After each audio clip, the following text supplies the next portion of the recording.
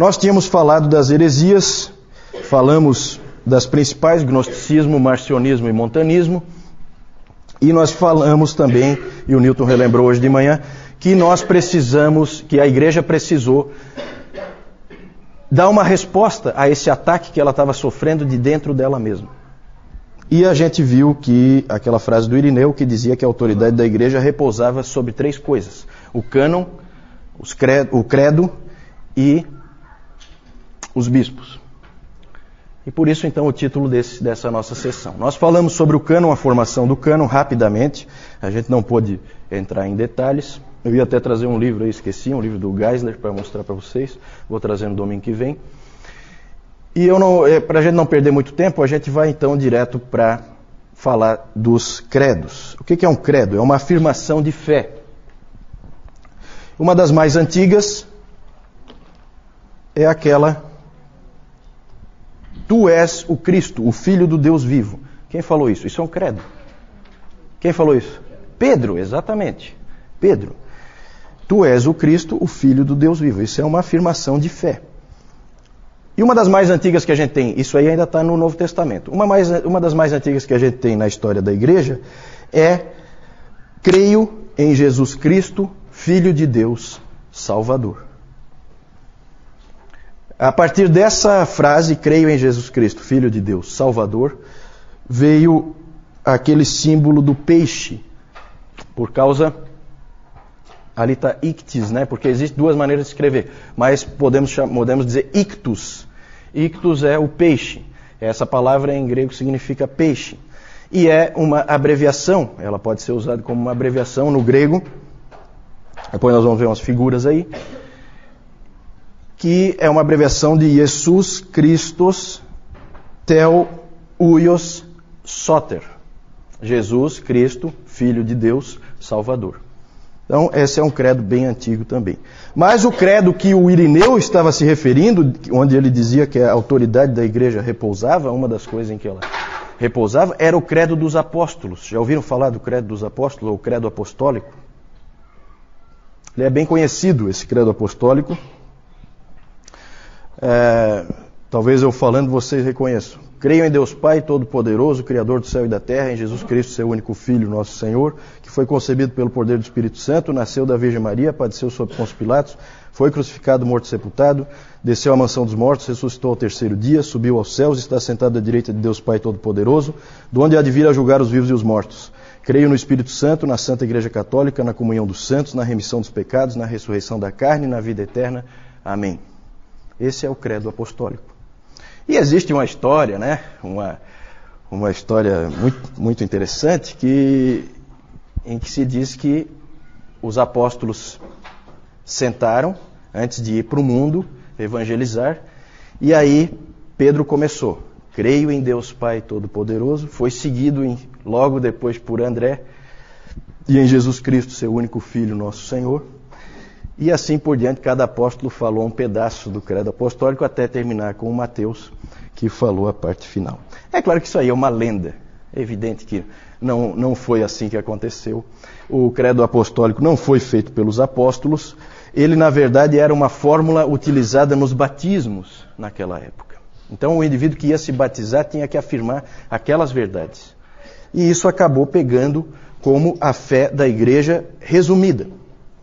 Porque o cânon são aqueles 66 livros, mas eles, eles achavam que precisava deixar claro o que, que é essencial, o que, que tem que ser tirado dali que não pode ser negociado. E daí então surgiu o credo apostólico. Ele não tinha exatamente essa forma, essa história do desceu à mansão dos mortos foi, foi inserida muito tempo depois, tá? isso aí é um problema teológico é, que nós não vamos abordar agora. E também nessa época surgiu a ideia da regra da fé. O que é a regra da fé? A regra da fé, o próprio David Calhoun, nas palestras dele, ele falou assim: ó, Eu não sei o que é a regra da fé, ninguém sabe. a regra da fé era uma, era, era uma, um, eram verdades, era, era, era ortodoxia passada de pai da igreja para pai da igreja ou de bispo para bispo. Não era uma coisa que era passada para a igreja, era uma coisa passada de bispo para bispo. O Orígenes, ele disse o seguinte: a regra da fé é aquilo que foi passado pelos apóstolos por meio da ordem da sucessão. Então não dá para a gente de, de, definir muito claramente o que, que é a regra da fé. Mas de alguma maneira se achava que de um bispo para o outro se passava a verdade, se passava a ortodoxia. Isso é uma coisa um pouco confusa. Pode passar? Vamos falar então agora dessa ideia dos bispos. Os bispos. No Novo Testamento e no primeiro século, o modelo era aquele que nós conhecemos de liderança da igreja com presbíteros e diáconos só. Então, durante o primeiro século era assim que era feito. Você tinha presbíteros e você tinha diáconos. Mas já no início do segundo século já começa a haver uma maior centralização de poder na mão de um único presbítero. E isso começa a aparecer em vários lugares. Sempre há algum presbítero que se destaca mais, que conhece mais, que é mais influente e esse presbítero começa a ganhar uma importância maior.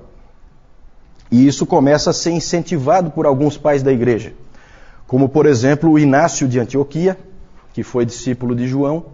Ele, ele disse que ele, ele já falava no, no início do segundo século a respeito de um único bispo acima dos outros. Um presbítero que ficasse acima dos outros, que é a forma é, tríplice de governo da igreja. Então passa a haver três, três é, tipos de liderança: bispos, presbíteros e diáconos. E aí o Irineu, Irineu de Lyon, piorou tudo quando ele introduziu a ideia da sucessão apostólica. famosa ideia da sucessão apostólica. Ele Uh, não sei de onde é que ele tirou isso, ele criou a ideia de que o bispo tinha que ser uma pessoa que pudesse provar a sua ligação aos apóstolos. Certo? Então, por exemplo, se o Newton não puder provar a ligação dele com os apóstolos, ele não pode ser um bispo. Ele pode ser um presbítero, mas não pode ser um bispo. Então é, eles começam a, a, a cometer esses erros, isso começa a circular de um para o outro e começa a afetar a, a, a igreja. Isso aí deve ter ocorrido por uma série de motivos. A gente tem registros de que Cipriano, por exemplo, ele começou a dar instruções para os outros presbíteros, começou a dizer o que, que eles deviam fazer. E aí, então, é, é, então tem envolvido aí questões de personalidade, tem questões envolvidas de orgulho, um querendo ser mais do que o outro. E tudo isso aí acabou afetando a igreja, de uma maneira ou de outra, acabou-se tendo a figura dos bispos. Pode passar aí. Então ali eu falei, isso eu já falei, o, apoio do Inácio de Antioquia e do Irineu de Lyon. Por quê? Porque os bispos passaram a ser uma coisa importante. Por uma questão de eficiência, é muito mais fácil se a liderança for estiver na mão de um só é muito mais fácil tomar as decisões, é muito mais fácil reagir rápido a alguma coisa que aconteça. Então até o David Calhoun comenta, né, que o, ele é presbiteriano, então ele fala no modelo presbiteriano ele crê que é bíblico, mas não necessariamente é o mais eficiente. Às vezes para tomar uma decisão leva uma vida. É, então a, a ideia era de eficiência. Um bispo com o poder na mão dele resolvia rapidamente qualquer problema que acontecesse. E também uma outra ideia por trás da criação e do estabelecimento desses bispos era o fortalecimento da ortodoxia. Eu considero que isso é uma faca de dois gumes. Porque, por um lado, você, se você tiver um bispo fiel, ótimo, vai realmente, ele vai ser um, um indivíduo que vai é, sustentar a ortodoxia. Agora, se ele não for, ele sozinho pode levar toda a igreja para um caminho errado. Pode passar isso. isso. Ah, essa ideia de, de, de poder na igreja, essa ideia de centralização de poder, foi levando a outros aspectos eh, também danosos depois. Porque uma, é, é, na verdade é assim, se você vai ter um bispo para cada cidade, e essa, isso aí começou muito cedo, já no segundo século, como nós vimos, você estabeleceu uma gradação entre os presbíteros daquela cidade. Existe um presbítero daquela cidade que é o mais importante, o que tem mais autoridade, o que é mais reconhecido.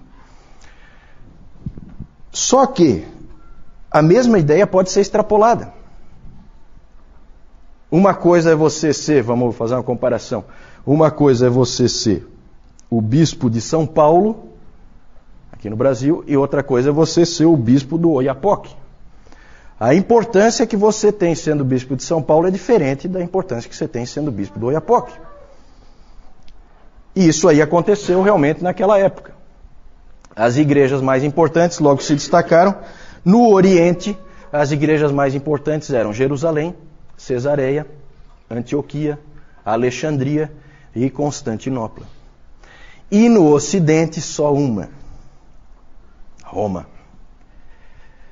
Gente, começa aqui, tudo tem explicação histórica. O Newton hoje falou sobre isso e é verdade. Tudo que a gente crê tem um fundo histórico. Tudo que acontece tem um fundo histórico. Não existe teologia sem história. Isso, isso o Newton frisou hoje de manhã e é verdade. Olha só o que começa a acontecer. E nós vamos ver hoje mais coisas que começaram a acontecer que foram levando numa certa direção. Aqui já começa a levar numa certa direção.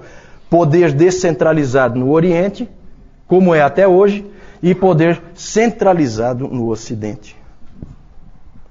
Muito interessante isso que vai acontecendo. E olha só o Irineu. Irineu foi um grande homem de Deus, combateu os gnósticos de maneira exemplar, foi extremamente útil para a igreja, só que ele também prejudicou. A ideia da sucessão apostólica não ajudou muito, e essa frase aí é de uma é de uma infelicidade tremenda. Olha o que ele disse: É um caso de necessidade que todas as igrejas deveriam concordar com essa igreja, por causa da sua preeminente autoridade. De quem que ele está falando? De Roma. E aí as coisas então vão piorando. Pode passar. Aí só para mostrar para vocês, o João hoje está meio. não está nas melhores condições, eu também não estou, vocês já perceberam, né? Mas eu vou rapidamente mostrar aqui. Aqui só um exemplo, né? nós falamos do cano no domingo passado. Aqui é um, um pedaço de papiro. Um pedaço de papiro que, real que nós temos hoje. Aí está escrito, depois alguém que, alguém que saiba ler em grego aí pode ler para nós. É, é uma página do P46. Esse manuscrito é do século III. Vocês sabem que nós não temos os originais, os originais não existem mais. É, então, isso aí é um pedaço. Aí ali está escrito 1 Coríntios 11, 33 a 12, 9. Aqui nós temos. Isso aqui é uma pichação em Éfeso, num muro, lá do, da igreja primitiva, com o símbolo do peixe. Jesus Cristo Theos Uios Soter. Certo? Jesus Cristo, Filho de Deus, Salvador. Pode passar. Aí nós temos o Inácio de Antioquia.